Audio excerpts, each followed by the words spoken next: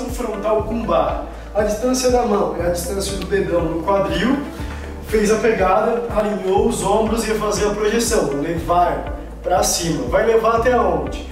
Até os ombros não querem se encolher, vai lá, pau, ó, até aqui, e vai descer até onde ele não desmonte, e sobe de novo. É mais ou menos a linha do nariz para subir e mais ou menos a linha do umbigo para descer.